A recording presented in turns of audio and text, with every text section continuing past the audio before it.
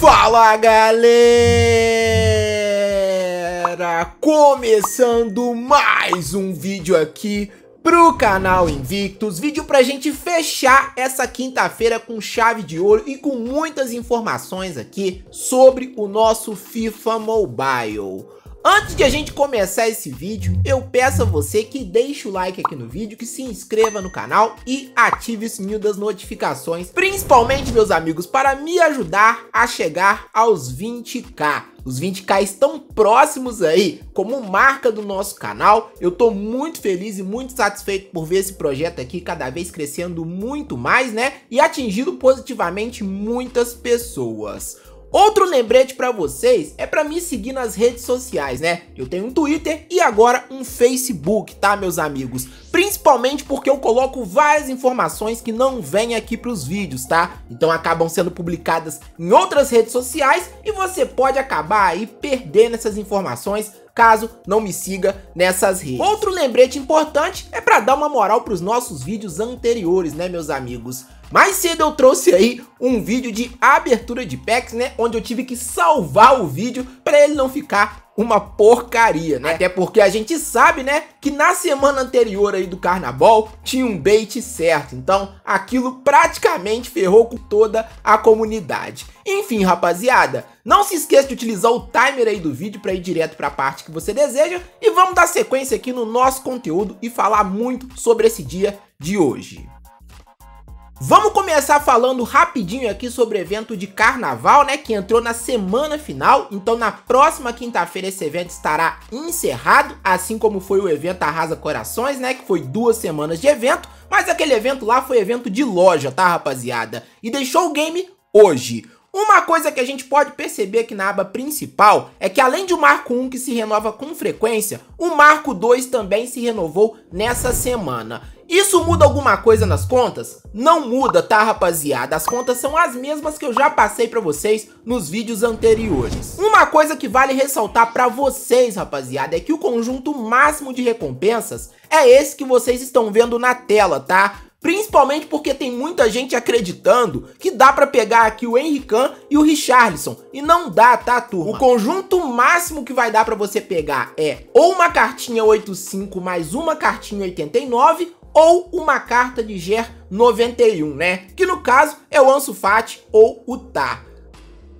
E fechando o conteúdo aqui sobre o evento de carnaval, eu acredito que o grande destaque aqui, ou lançamento do dia, foi exatamente a praça do festival, né? Que chegou aqui novos jogadores, e o grande destaque é o Paulo de Bala, cartinha que inclusive tá bem bacana, tá turma? Comenta aí se você conseguiu essa cartinha, ou então qual cartinha você tirou na sua abertura de pacotes. Vale ressaltar para vocês, meus amigos, que nos próximos dias aí a gente vai estar tá fazendo um pack open, falando também um pouco das cartas, analisando elas e coisas nesse sentido. Se inscreve aqui no canal para você não perder esse conteúdo. Vale lembrar para vocês aqui, manos, que as duas cartas que estão no final do marco aqui da Praça do Festival não são cartas grátis, tá? Novamente repetindo isso aí para vocês, porque muita gente tem dúvida.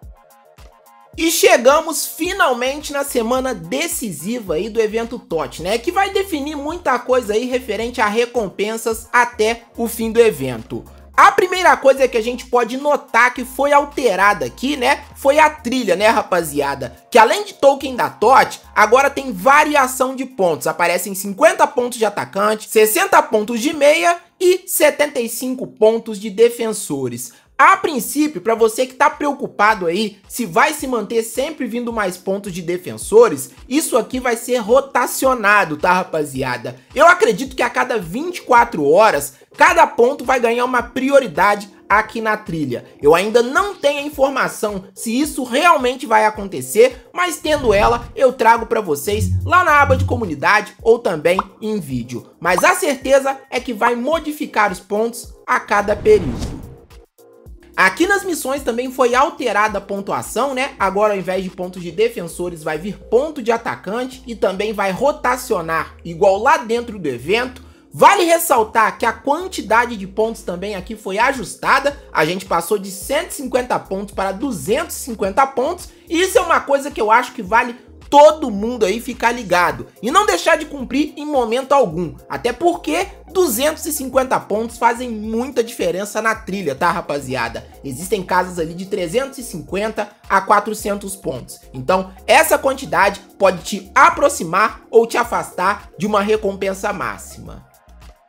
E a grande expectativa a partir de agora é para o lançamento das cartas Ultimate, né rapaziada? Que na próxima semana estarão chegando ao evento. Como vocês estão vendo lá em cima, está desbloqueia em 7 dias. Para quem está em dúvida sobre essa descrição aqui da cartinha, meus amigos, a gente não sabe definir ao certo o que se trata, né? Está escrito ali para você trocar um titular, mais uma quantidade de pontos por um jogador, o TOT. A gente não sabe se é qualquer jogador que você vai poder casar a quantidade de pontos e pegar a carta o TOT ou se vai precisar da carta em específico, por exemplo. Vamos colocar que esse ponta direita aqui seja o Messi, o Totti. Você talvez precisaria da carta Totti dele, mais a quantidade de pontos. Então, nada sobre isso foi dito.